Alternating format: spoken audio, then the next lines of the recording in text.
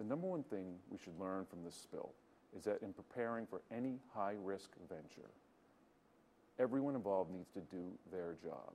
The job of government was to ask the question, what is the worst possible thing that could happen, and are you prepared for it, BP? That question, I don't believe, was asked adequately because clearly we weren't prepared for it.